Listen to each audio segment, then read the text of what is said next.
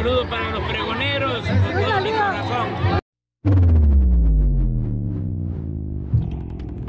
tal amigos y amigas? Bienvenidos a una nueva videotransmisión más. Bienvenidos a su canal Pregoneros. El día de hoy, lunes 30 de enero del año 2023, vamos con información Pregoneros porque así se presentó en su primer informe de actividades legislativas la diputada por Chihuahua Andrea Chávez, diputada de Morena. Así se había presentado teniendo ahí a figuras como el secretario de Gobernación Adán Augusto López Hernández y duras palabras lanzó en contra de la gobernadora panista Maru Campos de Chihuahua. Vea nada más. Y arremete Maru Campos como ya nos tienen acostumbrados estos panistas, todos estos gobernadores, gobernadoras de la oposición, todos estos políticos que no les gusta que les señalen. Vean, arremete a gobernadora Maru Campos contra diputada federal Andrea Chávez tras el informe de actividades legislativas en el que destacó la clausura de la librería de Javier Corral. Vamos a escucharlo. Pues mira, este, ¿quién es Andrea Chávez? Dos, eh, yo creo que el señor Corral y el señor Duarte pues salen de la agenda completamente del gobierno del estado. A los chihuahuenses no nos interesa lo que, lo que hagan. A final de cuentas lo que nos interesa es no cometer los errores del pasado.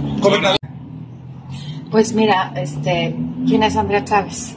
Dos, eh, yo creo que el señor Corral y el señor Duarte pues salen de la agenda completamente del gobierno del estado. A los chihuahuenses no nos interesa lo que, lo que hagan. A final de cuentas lo que nos interesa es no cometer los errores del pasado. No es la primera vez que la diputada por Chihuahua, Andrea Chávez, señala pues todos estos tropiezos que ha tenido la eh, gobernadora Maru campos ahí en Chihuahua. Pero bueno, pues así son estos panistas que desconocen o que pues hacen como que las virgen les habla. Así es Maru Campos, tal cual el reflejo de lo que es la oposición, de lo que son estos panistas el día de hoy. Pues bueno, así fue el primer informe de actividades legislativas de Andrea Chávez. Esto fue lo que le mandó decir a este gobierno panista.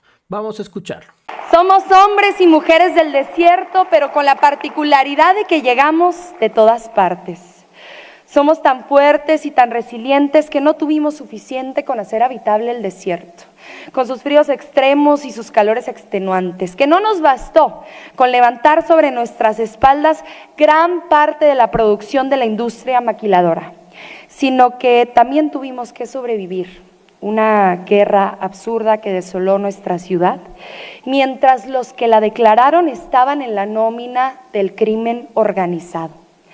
Los juarenses además nos volvimos en expertos en el lenguaje mediático y a la fuerza nos familiarizamos con palabras que ningún niño, ningún adolescente o ningún ser humano debería conocer. Las conocen, ejecutado, entambado, embolsado, feminicida, extorsión. Incluso a la mala nos hicimos hasta expertos en medicinas, pues el tafil, un ansiolítico para la crisis nerviosa, triplicó sus ventas en plena época de la violencia. Los podías encontrar siempre a sobreprecio en las farmacias propiedad de exgobernadores. Y aunque suene irónico, el problema de vivir rodeado de violencia no es que puedas perder la vida, es que el miedo te impide desarrollar una vida plena y en libertad.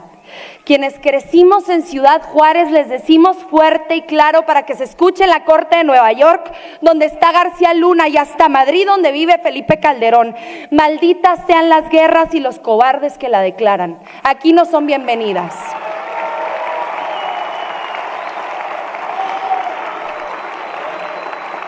Hoy Ciudad Juárez sigue en pie y avanza a paso firme hacia la transformación. Vamos a dejar atrás la estela de la violencia a la que nos condenaron y vamos a volver a ser internacionalmente reconocidos como lo que siempre fuimos la frontera más fabulosa y bella del mundo. No fue casualidad que el entonces candidato López Obrador iniciara aquí en Ciudad Juárez su exitosa campaña de 2018 que lo llevaría finalmente a la presidencia de la República. No es casualidad que el presidente López Obrador tenga el apoyo de más del 70% de las y los juarenses.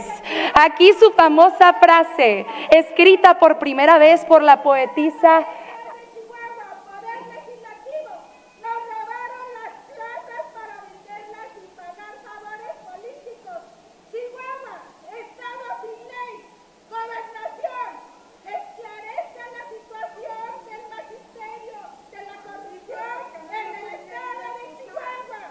Gracias.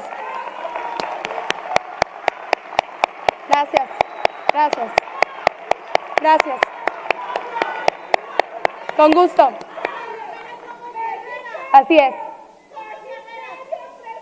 Así es.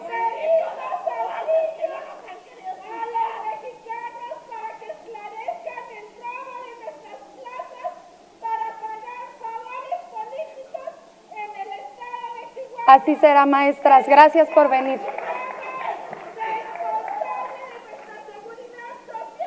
Gracias, maestras. Gracias. El aplauso para ellas. Fuera, Maru Campos. ¡Viva, viva!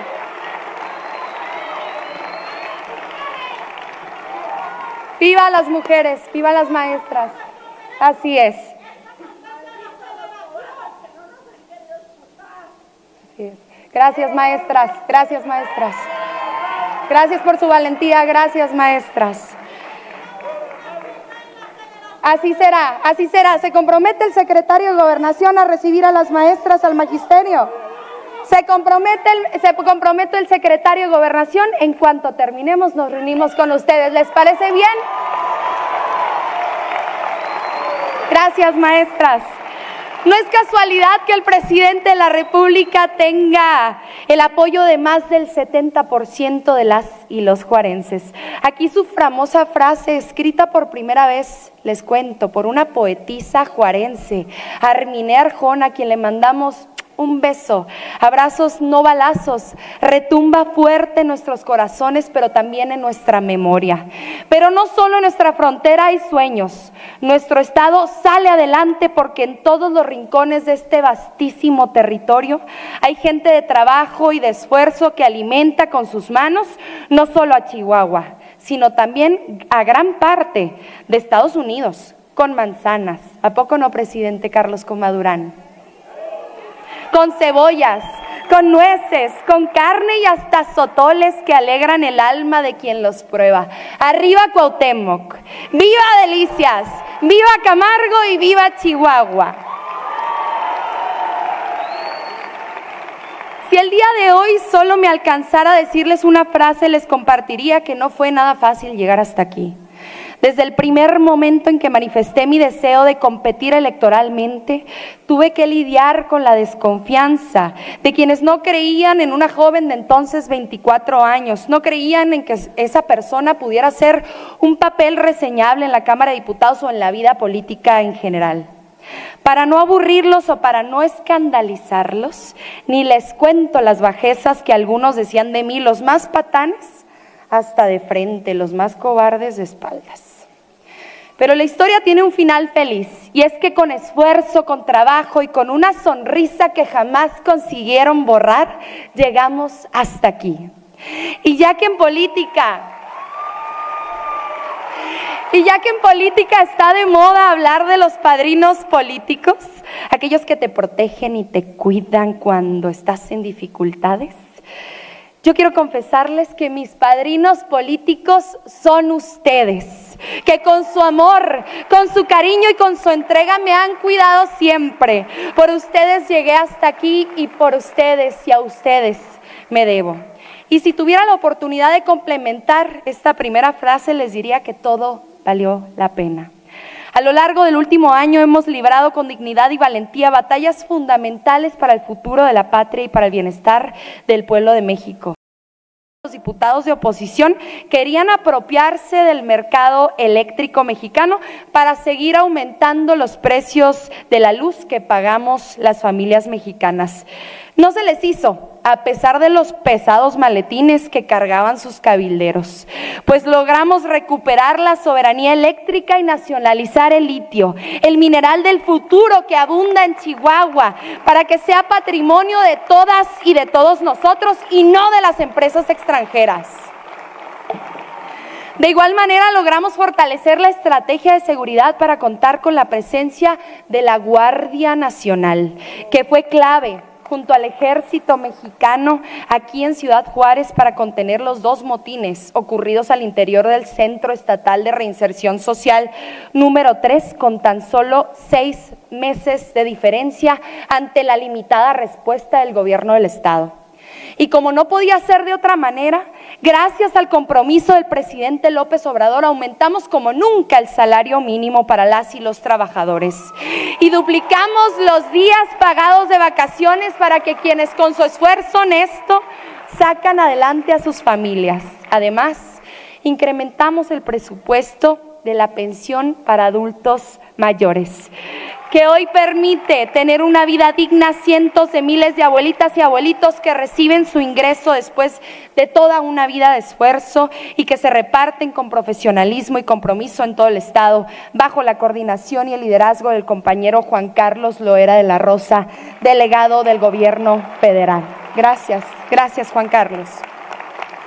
Estos y otros muchos logros como un aumento presupuestal del 8% en términos reales para Chihuahua fueron posibles gracias a este grupo parlamentario que hoy ven aquí, encabezado por la experiencia y el talento de nuestro coordinador, el diputado Ignacio Mier Velasco, y por nuestro vicecoordinador, Leonel Godoy, maestro mío y de muchas y de muchos de nosotros. A y los diputados federales de distintos partidos les agradezco haber apoyado mi iniciativa para que los jueces no puedan liberar de prisión antes de concluir su pena a los feminicidas. Durante mi etapa universitaria trabajé en el Observatorio de Violencia Social y de Género. Aquí se encuentra su titular, Alfredo Limas, en donde tuve que aprender a contener el llanto para poder dar lo mejor de mí misma a las madres que buscaban desesperadamente a sus hijas, arrebatadas por la violencia machista. A todas ellas mi amor, mi reconocimiento y mi abrazo. Desde la trinchera desde la cual me toca luchar, no olvido ni por un minuto su dolor, su urgencia y su deseo de justicia. Aquí en Ciudad Juárez avanzamos también en una demanda fundamental para miles de familias de toda la ciudad, que lograron las cartas de posesión de su vivienda y en algunos casos hasta sus escrituras, dotándoles de certeza jurídica sobre su patrimonio, algo que fue posible gracias al compromiso y disposición de nuestro compañero Cruz Pérez Cuellar, presidente municipal, quien desde el primer día fue empático y generoso con esta problemática. Gracias, Cruz. Cuando hay voluntad, problemas que se estancaron por décadas se pueden resolver en semanas. De igual manera, estamos atendiendo el problema de la vivienda en Meoki para que en Chihuahua todas y todos tengamos acceso a una vivienda digna como marca la Constitución. Porque tener una casita segura en la cual resguardarnos del frío no debe ser un privilegio para unos pocos. Quiero aprovechar también para informar en colaboración con el sector privado estaremos implementando un programa de salud integral que recorrerá las colonias más alejadas de nuestro estado, llevando atención médica y preventiva a todos los rincones de Chihuahua y canalizando los casos más urgentes a las instituciones públicas de atención sanitaria. Afuera de este teatro pueden encontrar los camiones de salud que conducirán estas tareas.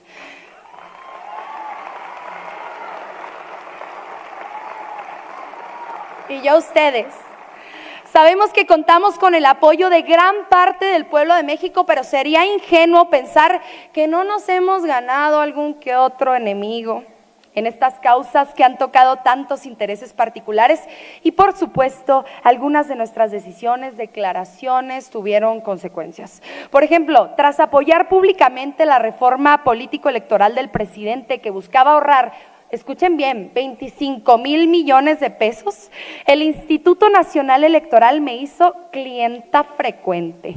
Y no hay semana en la que no me tenga que defender jurídicamente de sus intentonas de censura. Hace apenas unos meses me quisieron inhabilitar tres años solamente por recordarle a una diputada opositora que efectivamente era tarea del gobierno federal fomentar la lectura, algo que en Chihuahua seguramente me hubiera causado algún problema ahora que el gobierno del estado anda en la absurda tarea de clausurar librerías. Afortunadamente, Afortunadamente el tribunal revirtió este abuso, pero quedó claro el talante amenazador y autoritario que tienen. Con mucho respeto les digo a los consejeros del INE que a mí no me van a amedrentar, porque yo sé dónde vengo y a dónde voy. Si crecí en Ciudad Juárez, ¿a qué le vamos a tener miedo? Tómala, así exhibiendo el gobierno autoritario de Maru Campos y vean, eh, luego de que en entrevista el día de hoy, pues la misma gobernadora respondiera, ¿y quién es Andrea Chávez? Simplemente con eso. Y ya sabemos su semblante, ya sabemos la forma en que se refiere, así tratando de denostar, desprestigiar, así son estos panistas. También esto responde Andrea, Andrea Chávez el día de hoy. La gobernadora Maru Campos dice irónicamente no conocerme, pero tampoco me sorprendería que fuera verdad. Es muy despistada, tardó 10 horas en responder al motín del Cerezo 3 y según ella tampoco se dio cuenta de los millones que le pagó César Duarte. Tómala. Ahí nomás. Ahí queda, mis estimados amigos y amigos proneros. Tómala y así dejó exhibida a Maru Campos. ¿Quién es Andrea Chávez? Lo único que se limitó a decir la gobernadora panista. Mira, este, ¿quién es Andrea Chávez? Dos, eh, yo creo que el señor Corral y el señor Duarte pues salen de la agenda completamente del gobierno del estado. A los chihuahuenses no nos interesa lo que, lo que hagan. A final de cuentas lo que nos interesa es no cometer los errores del pasado. Mira, este, ¿quién es Andrea Chávez? Dos, eh, yo creo que el señor Corral y el señor el semblante de la gobernadora de Chihuahua lo dice todo. Nos vemos en una siguiente emisión. Si la información les gustó, ayúdanos con ese poderosísimo like, manito arriba, like a este video para que podamos llegar a más personas. Recuerden que la noticia está ahí y depende de todos nosotros el pregonarla.